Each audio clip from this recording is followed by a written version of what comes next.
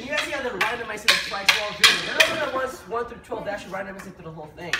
And once you get once you get to the higher levels, you will see how you don't really have to think, you have to see and visualize the goal. Once you kind of see anything happen, automatically your brain will go into the block.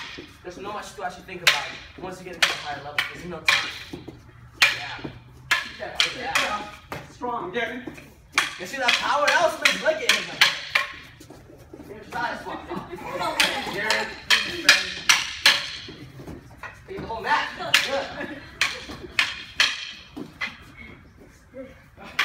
we miss sometimes.